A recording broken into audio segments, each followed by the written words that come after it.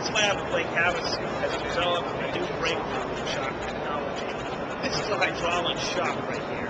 And everything you know about shocks is about to be turned upside down. Because rather than just absorbing all the energy that is produced when your car is driving shocks, you're taking that on and then wasting it. We're going to do something with this that no one else is doing with a hydraulic shock, and that's convert it into energy. You can see the little amount of power I produce the top. And then down is enough to light that light bulb. Can you do that again? Sure, we've got another demonstration. So as the shock moves up and down, it's generating electricity. Correct. That's right. So we're harvesting our light what would heat, we're transforming that into electricity. Mm-hmm. Fantastic.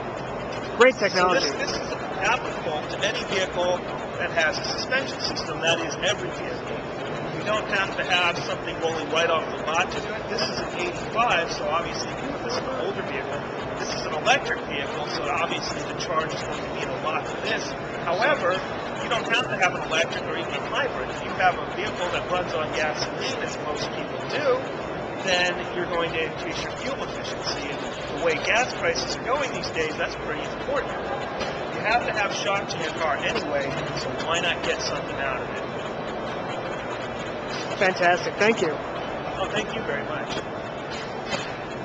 Yeah, this does have a wow factor because it's just so new.